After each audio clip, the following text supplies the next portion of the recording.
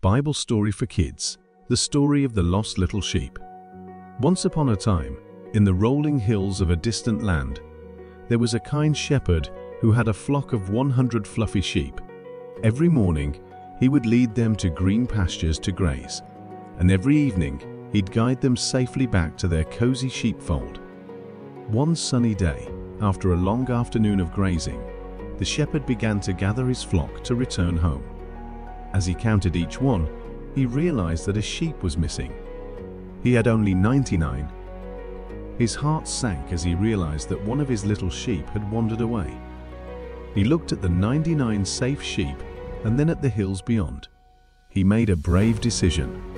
Even though it was getting dark, he decided to leave the 99 sheep in the safety of the fold and go search for the one lost little sheep. He loved each one of his sheep, and to him, every sheep was special. So off he went, up the hills and through the thorny bushes, calling out for his lost little sheep. He searched high and low, under every bush and behind every tree. His feet ached and his voice grew hoarse, but the shepherd didn't give up. He had a loving heart and he was determined to find his lost sheep. Finally, under the glow of the moon, he heard a faint bleating. Following the sound, he found his lost little sheep, stuck in a thicket, trembling and scared. Oh, there you are, there you are. The shepherd cried out joyously.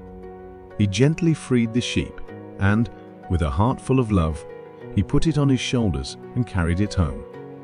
When they arrived back at the sheepfold, the shepherd was so relieved and happy that he called his friends and neighbors, saying, Rejoice with me, for I have found my sheep that was lost. Everyone was so happy for the shepherd, and they all celebrated with a grand feast, rejoicing the safe return of the lost little sheep. And that's the story of the lost sheep, dear children. Just like the shepherd cared for his sheep, God cares for each and every one of us. Even if one of us goes astray, he never gives up.